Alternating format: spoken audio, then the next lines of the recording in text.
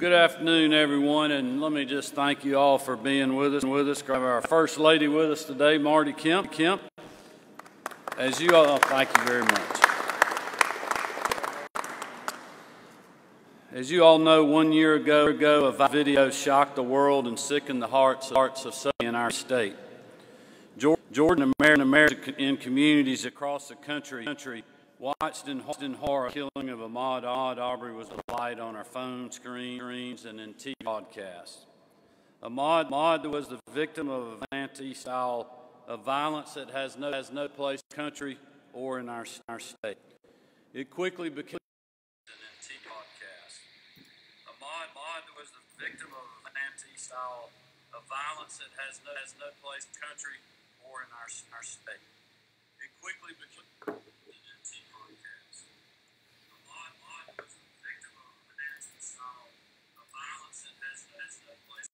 Representative Carl Gilliard, Chair, Chairman of Castration, Representative William Boddie, Representative Gloria Azier, Representative Al Williams, Lieutenant Governor Duncan, Duncan, Senators Bill Cowsert and Brian Strickland, as well as state and local law enforcement and civil rights leaders like Reverend Woodall and the Georgia NAACP to craft House Bill 4479.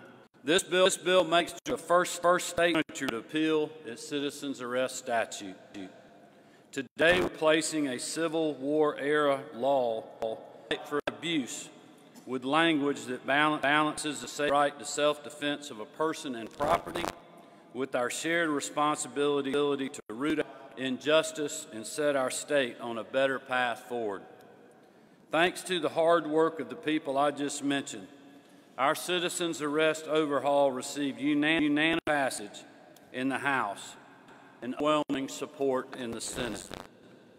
So often we spend time under the Gold Dome arguing over differences, but the outpouring of bipartisan support that this bill re received, I believe, is a testament to the fundamental care character of the state. Georgia has a long history in the fight for justice, from the civil rights movement to leading the way on criminal justice reform to passing anti-hate crimes legislation last year here in the Peach State, we will continue to show the world that Georgia is too great for hate. We are to have Ahmaud's mother, Miss Wanda Cooper Jones, and his sister join us today. On behalf of, behalf of all, I want to thank you both for being here. People all over.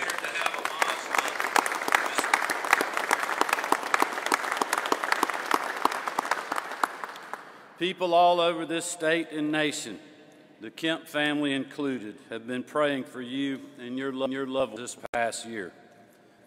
I'd also like to recognize the creation of the Ahmaud Arbery Foundation, which Ms. Cooper Jones launched this past weekend, what would have been Ahmaud's 2027th birthday. We all know the, the pen cannot bring back what you have lost. But today, in, in honor of God's memory, we commit to taking this step, step together. I want to thank you all for being here today. I again want to recognize former Representative Burt Reeves for his tireless to get this bill across, across the finish line. To the leadership of the House and the Senate and every member who supported this effort. There is no doubt that we still have challenges to face together but we will, and that we will not always agree on how to get there. But I believe that Georgia, Georgia will always meet the moment in what is right. Today, Georgia is doing what is right. Is right. God, God, you all, you all, and God continue, continue this great state of Georgia. And with that, we're going to sign this bill. Thank you very much.